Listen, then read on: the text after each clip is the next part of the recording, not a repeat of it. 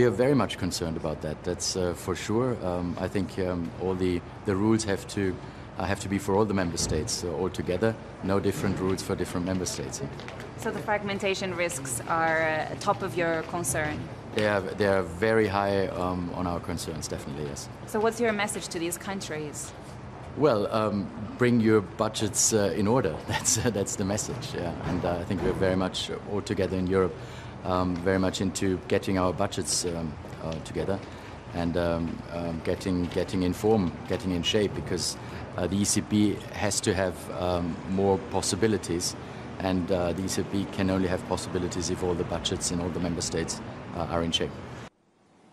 So the comment from the Austrian finance minister there saying that he's very concerned about higher government yields contrasts with what the German finance minister told me here yesterday.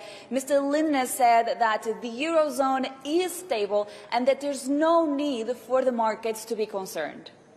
The Eurozone, it is stable. The uh, monetary union uh, has a robust uh, character.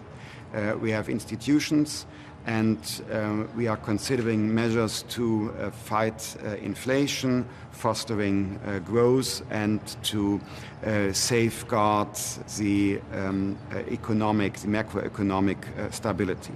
Yes, of course, we are witnessing some rising spreads amongst the member states, but this is no um, um, there's no need for, for any uh, concern.